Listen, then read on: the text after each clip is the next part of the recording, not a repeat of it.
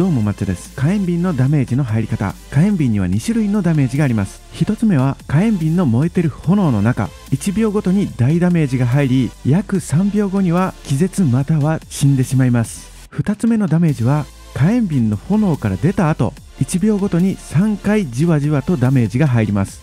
ですので火炎瓶を受けた直後に炎から出れば1回の大きなダメージ。1ガンと3回の小さなダメージ3じわでこのぐらいのダメージで進むことができます。約1秒間炎の中にいると2ガンプラス3じわでこのぐらいのダメージ。